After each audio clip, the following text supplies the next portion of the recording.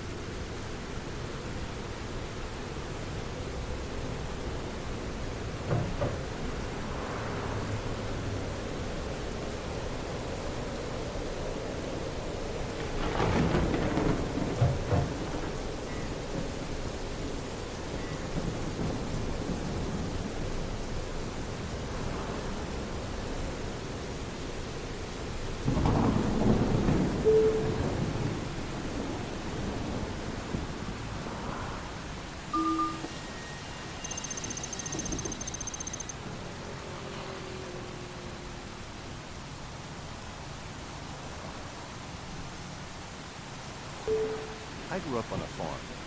Although I love the city life right now, I want to move back someday.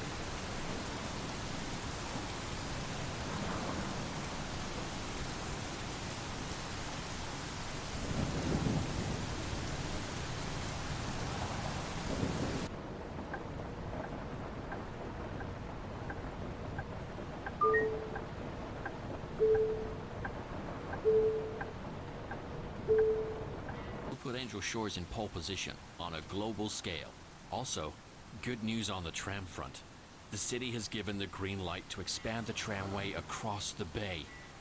Now, the highway rails may take a bit longer to build, but the rest of the network is primed and ready. We've even got our tram hub up and running in Sunkiss and are working on more tram stops, as long as our budget allows. Let's head over to the hub and snag another tram.